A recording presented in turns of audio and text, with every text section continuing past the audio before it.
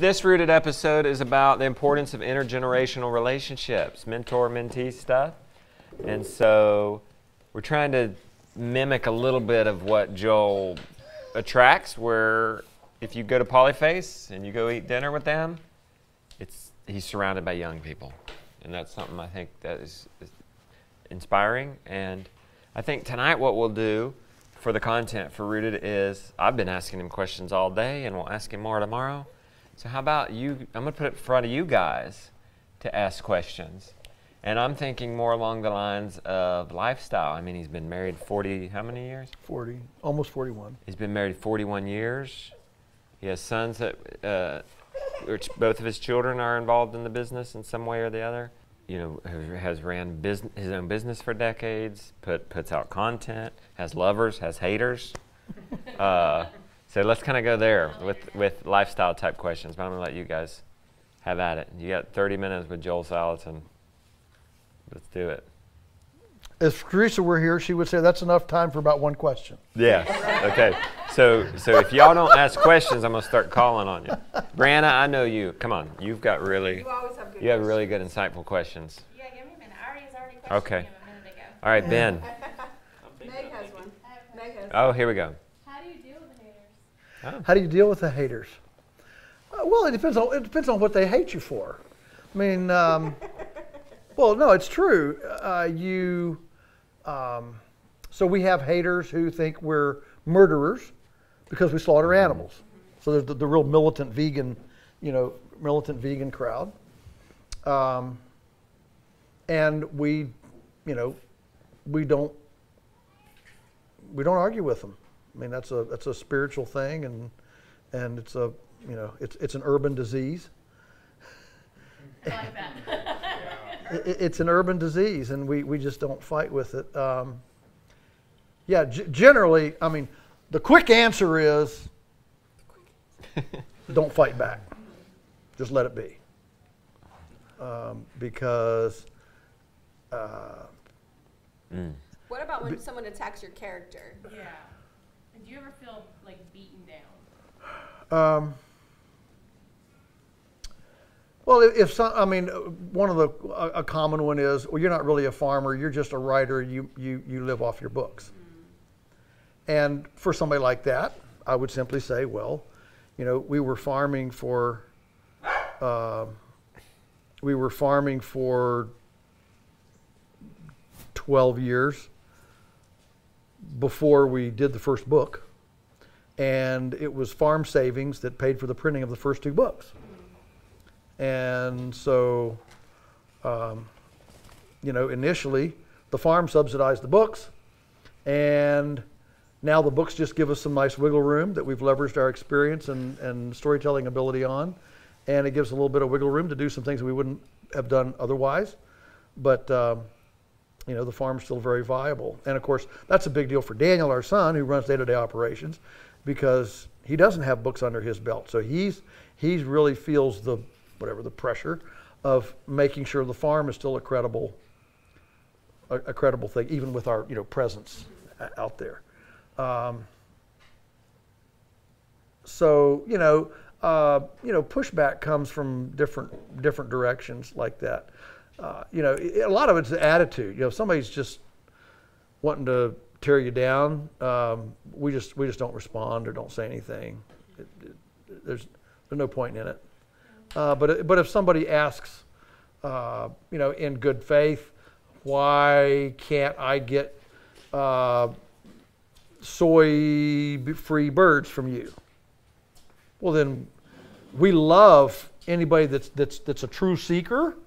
Um, we love those and answer them in full. But there's no argument. They're, they're actually seeking. They're not, they're not just, you know, bagging you. Um, generally, the ones that, ones that bag you, uh, they, they just don't get a response. It just- it's not worth it. You can't, you can't reason. You can't change their mind. You know, it, it- they've, they've read something, seen something, heard something, and they just want to be negative. Well, yeah. Two questions in one. Okay. Okay, so I'm seeing that my generation, the younger people, I'm 26, we we're tired of congested city life. I want to get out there. I want to have more freedom, more more real life type stuff, not just packaged everything. We want to have Mm. want to be able to see our food come from you know seed to harvest type of thing. Mhm. And there's like this gap there inside, but also I'm seeing that because because I've kind of experienced that growing up on a farm. I'm seeing that, that that's not the res- that's not the the uh, end all be all. Like you can you can go from city life to having a homestead and everything to do with healthy food and healthy living, but what are the things that you've that you've seen are like more the internal health, like internal fulfilling things that beyond you know growing your own food and that kind of Hmm. stuff. So maybe to narrow that down would be what are the top th- two things that you would recommend people do to be fulfilled before they even have any kind of farm or whatever Mm. but then also the top two things to get towards working towards more of a healthy lifestyle. If that makes sense. If It's they're a like- pretty wide open. Uh, I guess. I guess the Well, first we'll thing I give would you a say first is uh, is get rid of your TV. That'd be the first thing. Or phone. yeah, that's Nowadays it's phone. phone. Yeah. Okay, phone, whatever. Your I- iPhone, iPhone. Yeah. Yeah, Unplug, unplug. that's- Um, I mean, the average American male between 25 and 35 spends 20 hours a week playing video games. So I, I think, I mean, think what you could do for 20 hours a week if all the, if the average male in the U.S. put 20 hours a week in something productive other than video games. Uh, we're, we're losing a lot of whatever innovation, labor, ideas, um, things uh, in that. So, so um, yeah, get off the electronic highway is certainly would be very very top on my list. And you're looking at a guy that doesn't even have a smartphone. You know, I've got a flip flip flip phone. But you know, fortunately, I have I have people in the in the farm business that do have an iPhone. I'm glad somebody does because they're pretty they're important today. But um, you know, it's like a, it's like I heard a gal say. She says if you know if you don't have one, you're really missing out. And but if you if you're on it all the time, you're even making a bigger mistake. You're really So- missing out. Yeah, so I think I think there's there's something said for that. Um, and the next thing I would say, as far as uh, so that's one, the, the, the, just the electronic highway, and I would say the second thing would be to find and support um, the alternative tribe. And by that I mean um, whatever is unorthodox. This is farming, health, education, investment, uh, you know, whatever it is that that the the orthodox position is um, is suspect. And the thing is, the unorthodox position is not going to come knocking on your door. You know, by definition, it's the orthodox that's going to come knocking on the door. That's the one you're going to see, you know, the ads for on YouTube. That's the one you're going to see all this other stuff for. So you have to, you have to uh, invest uh, time and energy in in the unorthodox view, whatever that is. And generally, the unorthodox view um, has more truth to it than the orthodox one. And eh, eh, but, but but it's not on the front page of the newspaper. You know, it doesn't get the advertising. It doesn't get the play. And so you know, the biblical principle of the narrow way and the broad way is very very real. And you've got to seek the narrow way. It's there, but you have to you have to seek. I mean, we deal with people all the time that want the world to change. I want the world to be changed, but I don't want to make any changes. And um, you know, I always I always tell the like the the folks, the climate, the, the rabid climate changers that we're all going to be crispy critters in 50 years, you know, um, because of climate change. That if if that were really true, you wouldn't be driving your kids three hours one way, your your five year old three hours one way to a soccer game. Hmm. if that were really true, you'd rip up your yard, be planting vegetables in it, having a compost pile, and you'd do everything possible to not even put garbage on a, on a trash truck. You, you know what I'm saying? And so, you know, these are people want a different a different outcome without changing anything. And and people want to know they want to know the the real scoop behind you know, X. Well, you gotta you gotta put some time and attention on behind X Yeah. to find it. We're used to quick ramen noodles. Right, right, right, exactly, exactly. So, you know, convenience is a, convenience is a real, you know, is a real problem. And, um, and you have to appreciate that, that truth, truth doesn't come knocking on your door. Uh, you have to want to seek truth. Untruth is what comes knocking on your door. You know, that, that's what comes knocking. Brandon? Sorry. Uh, speaking of unorthodox views, I think an interesting one is rest. I think that's a really unorthodox thing to go after because I think like uh, at least in my world, I'm surrounded by people who hustle, which I which is fine. Especially in the in the mothering world, it's a big thing right now to have a side hustle, and you see all these women retiring their husbands even. Um, so there's a lot of pressure right now in my generation on women to stay home, homeschool, and have a side hustle. Not only a side hustle, but one that One that retires their husband. one that makes enough money so that your husband doesn't have to go out and work another Yeah. job. Yeah, and you see, we, I see women accomplishing that very, very often. So that's partly where I'm coming from. I'm also surrounded by people who hustle, who work very, very hard. You've obviously worked very, very hard, um, raising a family, starting a farm, um, basically changing careers early on, right? Because you were a reporter, um, being married for 40 plus years, writing books. You've obviously That's a real hustle. you've really accomplished a lot, but where um, I think an unorthodox view that isn't really ever brought up is one of rest. And so, where does that fit into your life? Um, Mm. Does it? It's okay if it doesn't. But like, where does that fit into your life? You could even maybe give examples of specifically or or not. Just I'm just curious what you think about the idea of rest. Yeah, well, uh, uh, I'm a I'm a big believer in um, in memory commas of life, and um, and what I mean by that is most again in our in our segregated um, uh, culture, we think that well, we, we've got to go away. I mean, even even even vacation becomes a hustle. We got to go. We got to get plane tickets. We got to, you know, go somewhere. And uh, and I'm suggesting that that some some in-home or at-home um, comma memories. Uh, uh, two hours at a at a fire pit, uh, you know, outside. I mean, we well, I mean, we we just spent. Um, because we have a, a big community. There's 25 of us living on the farm. It's a pretty big deal.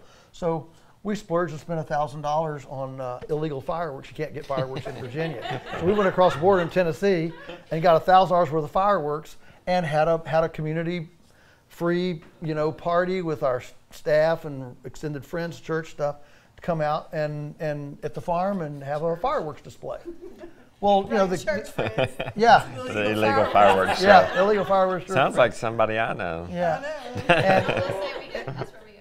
Tennessee. yeah, and yeah, and of course, you know, the kids are running around with sparklers, and it was a great time. We we uh, one one guy read the Declaration of Independence all the way through. We sang the national anthem, um, you know, and then we had these fireworks. And in fact, uh, Daniel was in charge of the fireworks. And so, when, when we when we sang the national anthem and and hit the rockets, red glare, he sent off fireworks right on that phrase. He It was, the coolest thing in the world. It was like the Blue Angels flew over at you know at a, a, a, a millionth the price. So, yeah, new goal, Ben. New yeah, goal. yeah. So all I'm saying is uh, be creative. Be creative at creating memorable commas that are cheap and and and and self-created. You know, uh, the kids can do theater. You can cook hot dogs. We call them yard nicks in the yard. You know, uh, you don't have to go anywhere. You, and when you look back at your life, you know, you look back at your childhood. Isn't it those kinds of things you remember? Oh, yeah. You know, and so so uh, that's that's one. For me, um, uh, uh, two things I'll say. One was Dad always said uh, he said you cannot spend more than four hours a day doing chores. So chores are things that you have to do every day at the same time because you need time in the day to recharge, whether it's to innovate, construct, think, read, whatever it is. Um, and so that's one reason why dairy farmers are so non-innovative because they spend so much time every day on chores there's no energy or time left to to, to think you know creatively um, i think it's one reason why as you go north more innovative farmers are in the north than in the south because they don't have a winter they don't have to stop so in the south Oh, in your the se- south, they don't wear, yeah. in the South, your season's longer. Goodness, in Louisiana, Alabama, South Georgia, you never have to stop. And so I can tell you, you, can look at my at my speaking tours over the you know 30 years, and I've probably spoken five to one north of the Mason-Dixon line rather than south of the Mason-Dixon line. And I think a lot of it is because in the South you have a longer season, and so you just don't have to stop. Whereas the North, blizzards and stuff, you know, they drive people in, and you have to sit. I wonder why we're doing. You have to think time. You know, it's it's an imposed rest, and um, so you you gotta you gotta think about that. Finally, I'll just say for me, um, I'm pretty pretty uh, direct about taking Sunday off, and um, so one of the things I've started a couple of years ago was Saturday night. I turn off the computer, the laptop, everything, and I don't look at it again until Monday. I mean, I turn it off, off button, off. It rests too, and um, and I have just found that very, very liberating to, to to take that imposed, you know, no electronic um, uh, position on Sunday. I love what you say about the memorable commas. My husband's so good at that. Mm. He is so good at that. It's because that's the way he was raised too. I bet your family was good at that too. Mm-hmm. I, I, I love that. That's something that um, I have found over the years is very hard for me is to actually enjoy the labor of my hands. Um, especially like the first four years on our farm, just going, going, going, going, going. And then sometimes we'd sit down in the evening and look around and be like, this is the most amazing thing in the world. Or people come over. Yeah. Like, this is amazing. And you're like, Oh yeah. yeah, it is amazing. but because because and Arthur, um, my husband, is o- is often talking about we need to take more time to just enjoy our land and our place. And um, like I said, he's way better at that. He's way better at stopping and playing with the kids and you know making a bonfire for the kids and you know, getting hot dogs and not worrying about their vegetables. I'm always like, what are we gonna eat? It's just hot dogs, you know. so I love that. I think memorable commas and like really, that's something that's been on my heart for a long time is like weaving rest. Because we take a Sabbath, we take Sundays off pretty religiously, um, or we take Saturdays if church is going to be next the next day. Um, but I've always felt like it's not quite enough. It's like when, like the, the big self care movement. Not, not that I think anything's wrong with that, but I'm always like, but when you get back from your massage, it's all still there. So like for me, I've been on kind of this this intentional seeking of like how to live in a place of rest, and I love the memorable commas. That's that's a cool name for it. I think that's a good way to do it. Good. Good. We all are entrepreneurs and beginner farmers and homesteaders, and um, I guess I'm just trying to figure out my role in the helping my husband be an entrepreneur and navigate um, sowing the land and also turning that into a business. Tell me about your wife Teresa and how she supports you throughout all these years with Mm. like just different ventures that you've taken on. That's a good question. And I have a quick Great question. just something to add to that that'll help. I think She worked, didn't she? She was a teacher. Is that That's my mother. Oh, okay. hmm So- Yeah. Teresa taught for one semester after college. So she was stay, she was, I'm just curious because I think that context is helpful too. Was she a stay-at-home mom? Yep. She- Mhm. Okay, great. Yep, for the whole time, except before we were married, she taught for one, right out of high school, I mean, right out of college.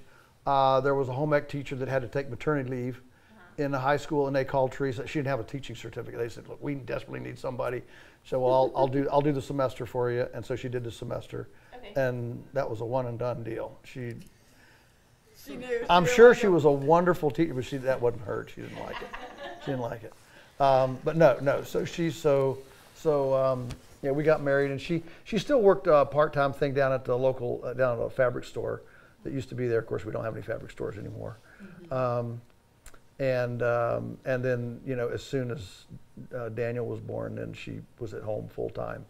And that was, you know, a little less than a year after we were married. Yeah. So he came early, um, which we're really thankful for because we're young grandparents. Um, and so, so how she has helped. Ooh. not so much financially, but like No, no. She supports you. Yeah, yeah. No, I knew the question's not, yeah, because she, um, she didn't have the financial, but what she did, she, what, and does, um, well, we say, we say, I run outside, she runs inside. So the house is her domain. So I don't ever have to worry about being embarrassed about having somebody that's come to see the farm and they trail into the house with me. I never have to worry about being embarrassed about what the house is going to be like or what you know what they're going to find, um, or that she can't whip together a, a meal or a, a plate of cheese and pickles and you know some some refreshment. Uh, you know she just she can you know she can cook. She now with the stewards and apprentices, you know she's a top-notch seamstress. So somebody's getting married, she alters the wedding dress. She, you know, they come to her with sewing projects. I mean, she's the go-to. She's the, I mean, she just runs the house. She just has every, you know, she cans. The, the, the young people love to come in and can with her. She cans, I don't know, 800 quarts of stuff uh, a summer. And so she'll have the kitchen full of these young people learn how to can applesauce and crank the food mill and, you know, run the Mehu Maija to tease out the grape juice and, and um, I mean, she's just that that that nest builder. That's a really great thing that I don't. you know, it's the Proverbs uh, woman. You know, where you know she she keeps everything in place, in order, whatever, and and I don't I don't have to worry about do we have food, do we do we have do I have clothes, do, do, so I never have to worry about any of that. And so, um, so that frees me up to use my energy and creativity to, you know, be what I'm supposed to be. And so that, that, that is, I mean, she's, she's amazing. You know, she's, you know, the song, "You- "You Are the Wind Beneath My uh, Wings." That's Teresa. She's the wind beneath my wings. You know, she, she's, she's not in the limelight, but um, of course, Wendy, who's my personal assistant, um, she says Joel might be the head, but Teresa's the neck, and she turns his head everywhere she wants to turn. Hey, we're all thankful for Teresa. Yeah, I, yeah. I like your answer. She's I appreciate amazing. Your answer. I do have a question to kind of add to it. Um, so you're the creative. You've got all this creativity, obviously, and entrepreneurial ambition and energy. Um, have you always managed that yourself, or have you needed people to help keep you directed before you go on to other projects, before you have ten more ideas? Is Teresa a part of that, or have y'all always kind of kept these more distinct roles? Um, Yeah, we, we've kept some pretty distinct roles, and and um, fortunately, she just,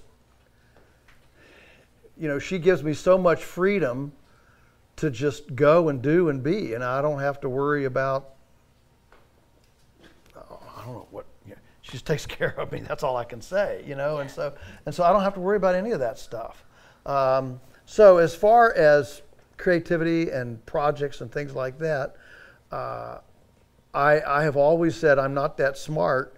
I just have to figure out who to hook my hook, who to hook my wagon to, Okay.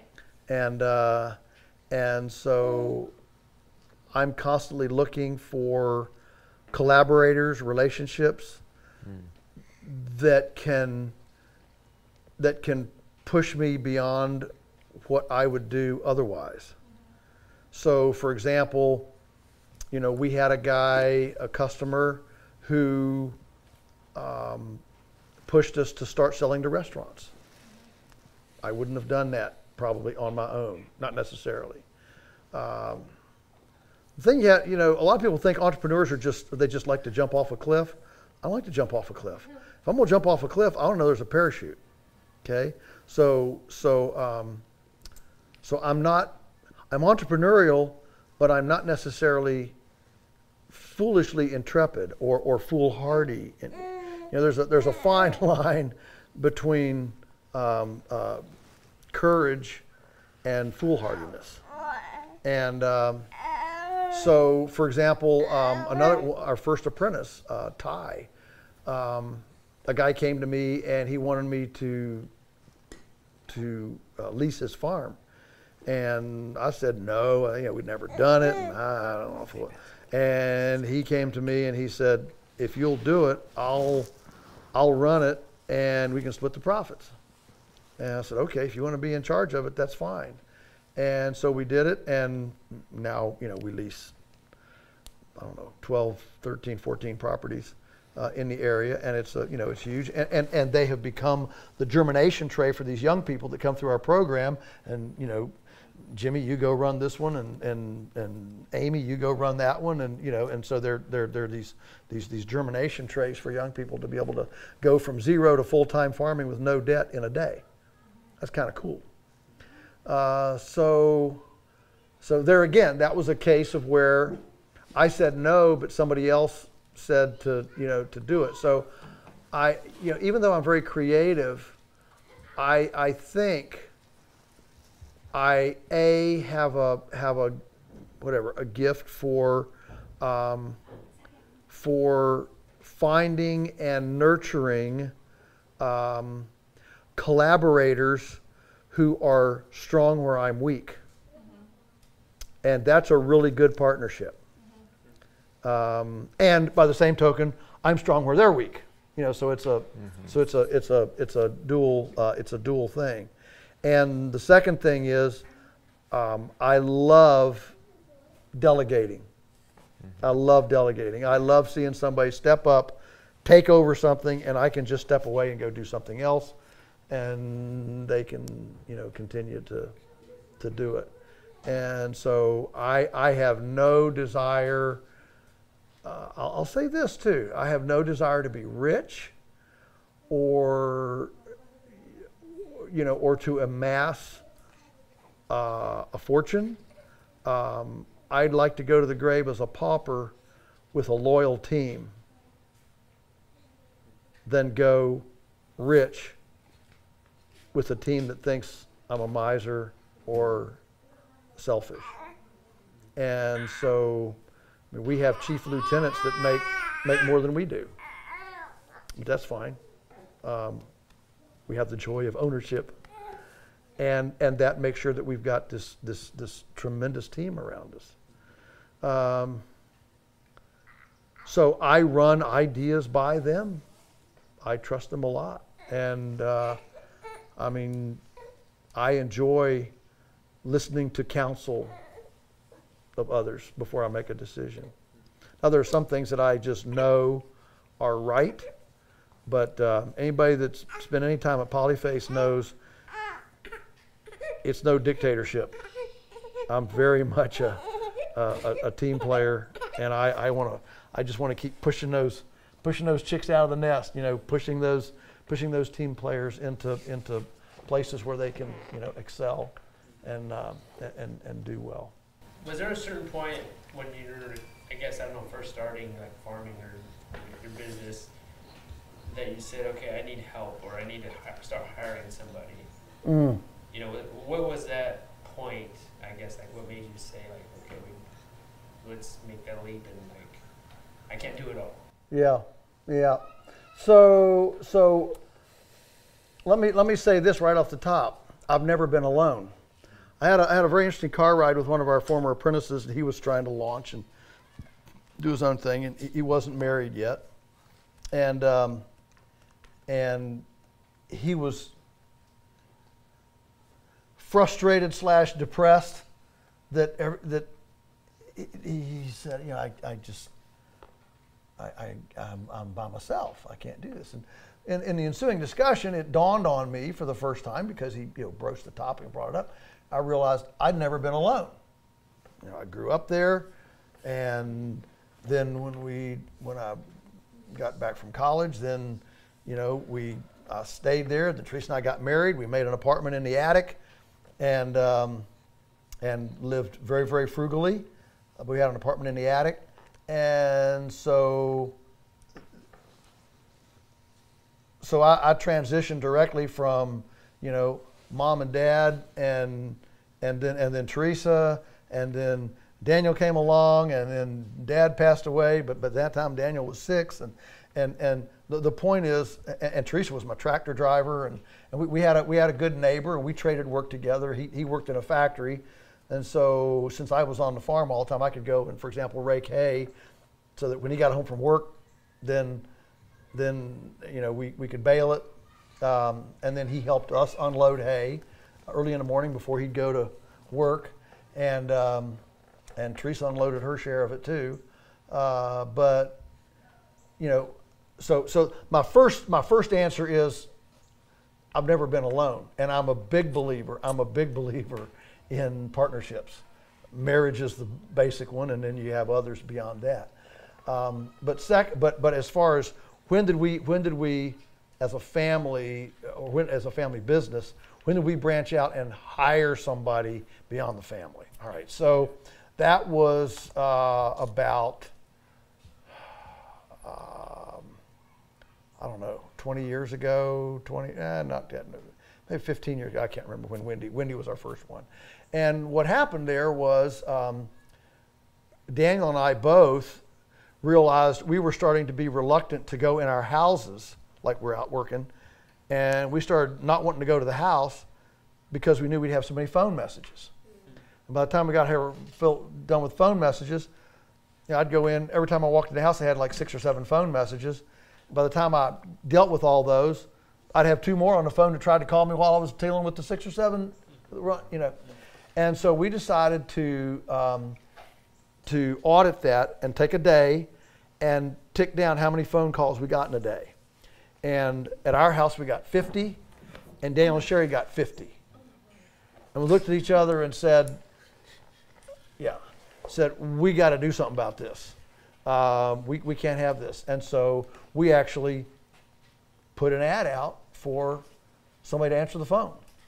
And, um, and we interviewed a couple people and we hired Wendy on salary. She was a, a young, uh, a single mom, and she could do this from her home. She didn't have to come out to the farm to do it. She she just you know punched a button and, and routed the phone that phone number to her her phone, and she was living in Richmond at the time, and um, and so that was our first one, and then since then, it's just been one after another after another. You know, as we as we see the need and kind of get uh, pushed into it.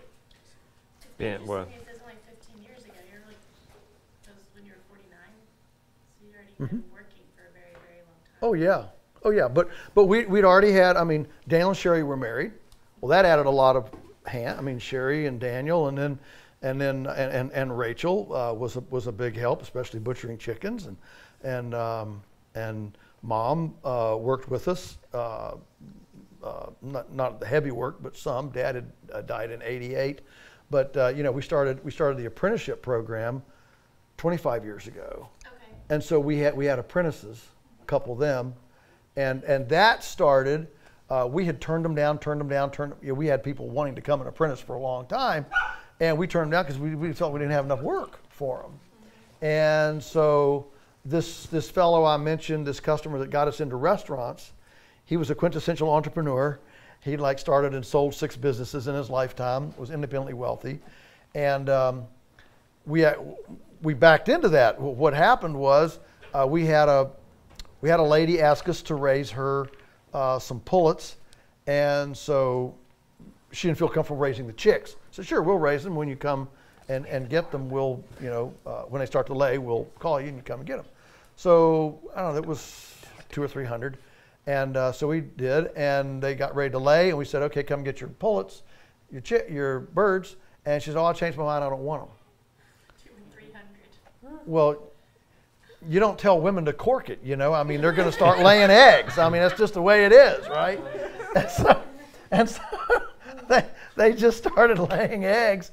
And what are we going to do? And, and um, so we, we, um, and we started running, you know, buy 10, get one dozen free, you know, all this stuff. Well, this, this guy came in while we were doing it. He says, This is immoral. You got the best eggs in the world and you're, you know, giving us like giving away gold, whatever. So he, he bought 30, 30 dozen on the spot. And two days later, he came and said, Can I have another? Uh, can I have 60 dozen? And we said, Well, sure. And two days later, he came and said, Can I have 90 dozen? Well, we knew he wasn't eating all these. You know, we said, What in the world are you doing with all these eggs? And he was taking them to restaurants up into D.C., taking them back to the chef. Now, this guy was a quintessential entrepreneur. He could sell a hat rack to a moose. And and, and he, went, he was going back in the kitchen with these eggs, showing it to these chefs. These chefs were going, Where'd you get these eggs? I got to have these eggs. So he came to us and said, how soon can I get 600 dozen eggs a week from you? Well, we're going to go into business together. 600 dozen. That is a lot of eggs. Yeah, it's almost 100 dozen a day. Well, Which is I- 1,200 eggs. 600, uh, 7,200. Well, It's, sev- 100 it's 100 six- 600 dozen times, 100 dozen is 1,200 yeah, per day. That's right, That's a lot of per day. Okay. But my light bulb went off and said, ah, okay, there's a, there's a, a, a huge expansion enterprise. And we've got all these young people wanting to be apprentices that we've turned down, but we don't have lodging for them. And so that was, that was, you know, a, a business never goes in a nice straight line. It's all, it's, you know, it's steps like this. We call that a step year. So that year, we put in the apprentice housing for two, and um, and we and we started enough pullets to to expand our layers, hundred dozen a day, and started the apprenticeship program, all in the same year. Now we got enough work. Now we have another enterprise that can support it. You know, blah blah blah blah blah. And so so that's what we did, and um, so that's when we started. That's when we started the apprenticeship program, and and then ten years later we started the stewardship program. And uh, so now we have stewards and apprentices. Uh, apprentices are uh, stewards can become apprentices, so the apprentices come out of the stewardship.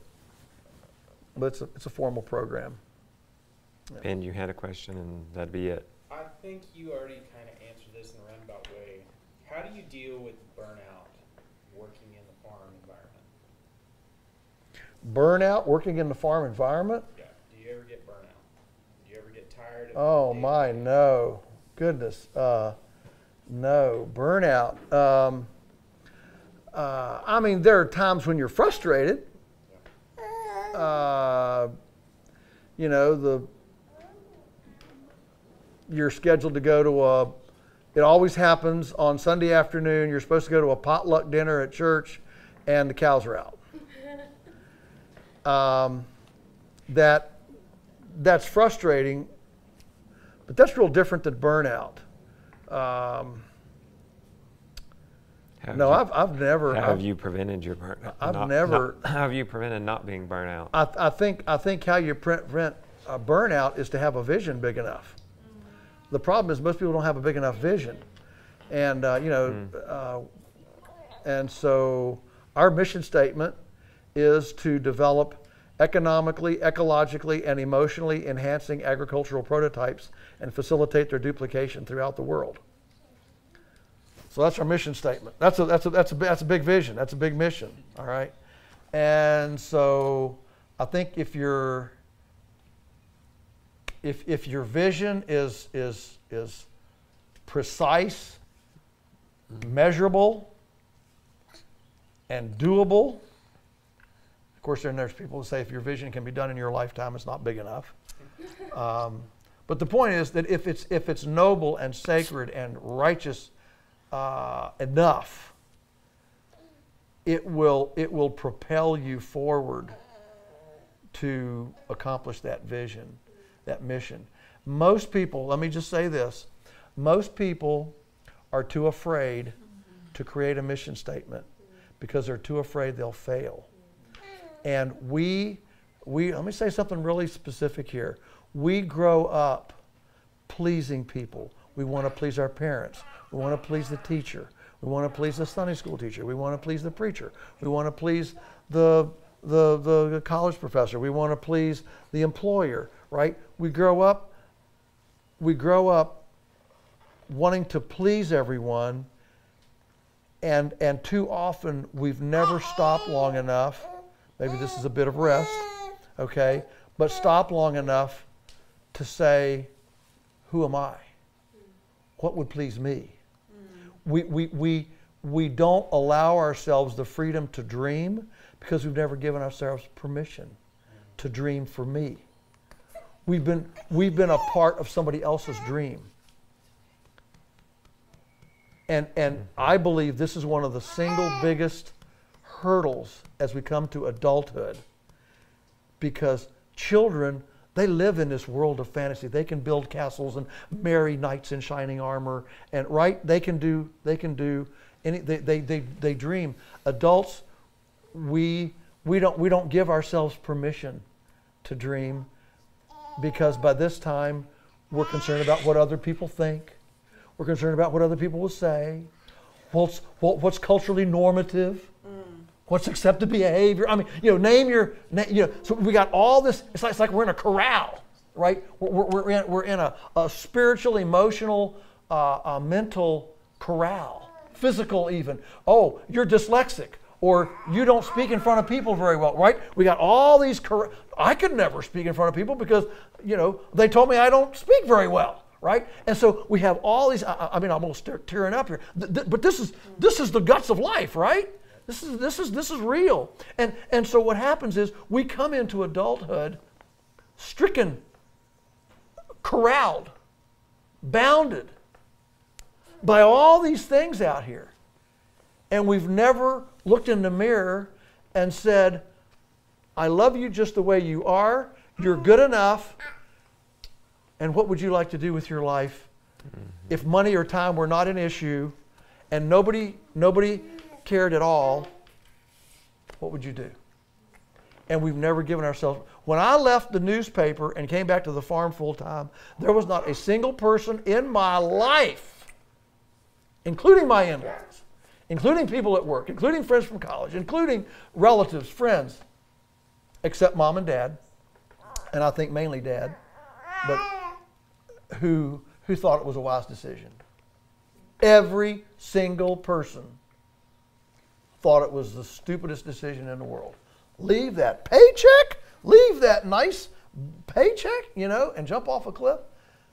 Um, but I was a I was a dreamer, and I had a I had a big vision, and and uh, and I had a supportive wife, who was okay to to to go along, and uh, and who and who was who had enough faith in my ability to make sure that she didn't lose her nest if push came. We had plan B, plan C. All right. I mean, it, you know, uh, I had a, had a bit of rappelling rope in my pocket and a little, you know, parachute, but, you know, we had some plan B, C.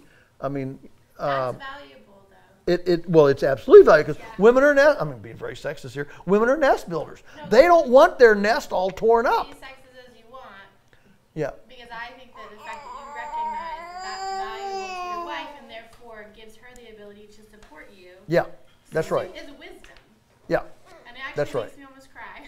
Yeah. yeah, that's right.